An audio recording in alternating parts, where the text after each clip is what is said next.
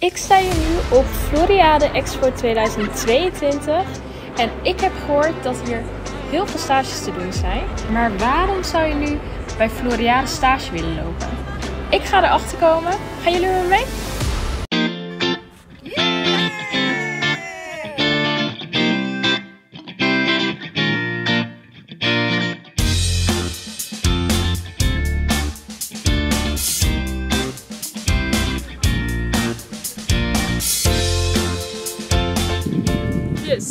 Nu buiten voor een heel groot gebouw en ik heb hier iemand. Hoi, wat is je naam? Eh, ik ben Boris.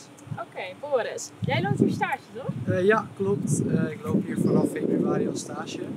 Waar zit jij voornamelijk? Ehm, ja, op de tiende verdieping. Dus je hebt heel mooi uitzicht. En ja, dat is sowieso wel leuk als je werkplek mooi uitzicht heeft. Dat heb je niet overal, denk ik. Ja. Maar jij zit dus op kantoor? Eh, ja, meestal. Eh, niet altijd. Dat vind ik ook zo leuk dat het eh, niet alleen maar op kantoor is. Zit jij nog met veel andere jongeren? op? Het zijn echt ja, jonge mensen, rond de 20, eh, 19 jaar. ja. En eh, ja, die hebben het ook allemaal naar hun zin. Zijn, de meesten zijn ook gewoon op stage. En eh, ja, ik hoor alleen maar goede verhalen eigenlijk. We gaan eventjes eh, met meelopen. Dus eh kom mee. Oké Boris, ik start een beat. Neem ons mee op jouw stagedag. Meestal start mijn dag tussen 9 en half 10. Dan ga ik dit gebouw in.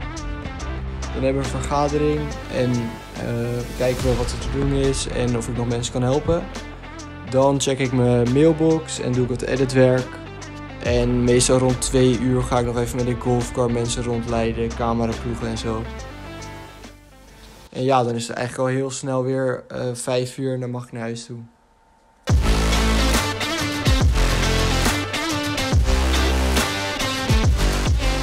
Eh, ik zit hier nu in een uur vette golfcar, maar jij eh, werkt hier dus ook. Of tenminste, Ja, jij loopt hier stage. Ja, klopt. En eh, wat doe jij hier op eh Floriade? Nou, ik doe vooral communicatie. Dus dat betekent dat ik heel veel e-mails beantwoord. Ik maak soms persberichten. Ik zet de persberichten in ehm, de bepaalde systemen. Zodat we dat heel snel kunnen versturen naar alle grote, minder grote ja, eh, bedrijven. Die ook weer daarvan ons persbericht een bericht maken. En dat weer kunnen uitsturen. Zoals Telegraaf, AD. eh, ook freelance journalisten heel veel. Ik zorg er ook voor dat eh, journalisten naar binnen kunnen komen. Dus dan staan ze hier bijvoorbeeld om 9 uur of om 10 uur en dan kunnen ze gelukkig naar binnen.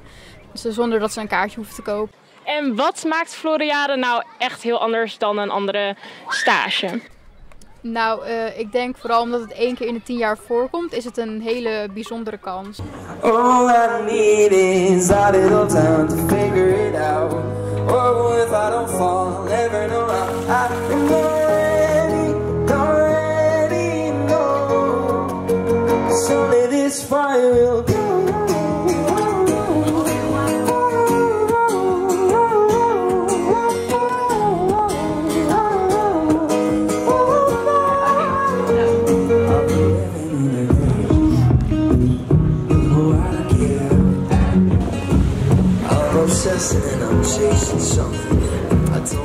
Ik zie eh, weer wat eh, studenten zitten en ik zou op zich door het luikje kunnen praten, maar ik ben brutaal en ik ga achterom.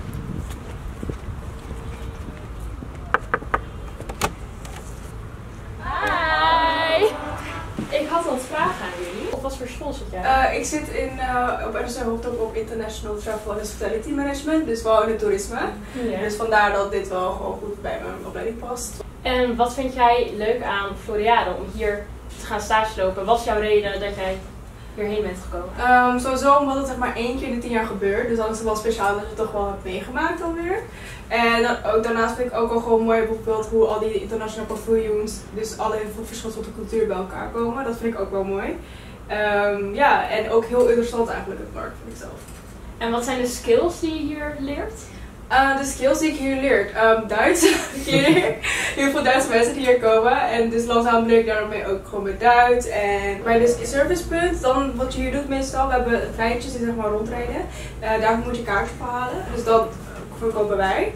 Uh, en dan daarnaast um, geven wij, delen wij de plattegronden uit. En hebben, verkopen we de kabelbouwtickets. Ben jij nou nieuwsgierig geworden naar een stageplek op Floriade en wil je ook onderdeel worden van het team? Neem dan contact met ons op. Of neem nog even een kijkje op de website van Floriade. Daar staan nog vele andere stages.